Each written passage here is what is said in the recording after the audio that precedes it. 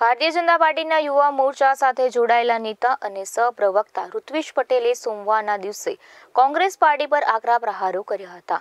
તેમણે કહ્યું હતું કે કોરોનાની ત્રીજી લહેરમાં ભાજપના કાર્યકરો લોકોની વચ્ચે રહ્યા હતા અને સરકારે પણ લોકોની સારવારમાં તમામ તાકાત લગાવી દીધી હતી.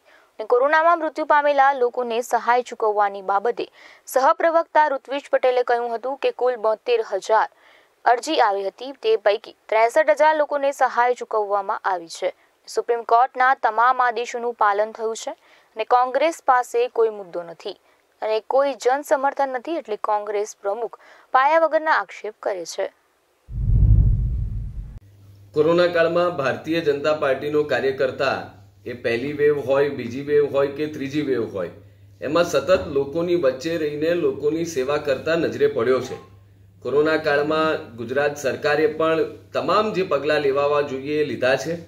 સુપ્રીમ કોર્ટના માર્ગદર્શન હેઠળ એમના આદેશ પ્રમાણે તોતેર હજાર જેટલી અરજીઓ જે આવી હતી, એમાંથી ત્રેસઠ હજાર જેટલી અરજીઓનો નિકાલ થયો છે. તેમને સહાય ચૂકવી દેવામાં આવી છે.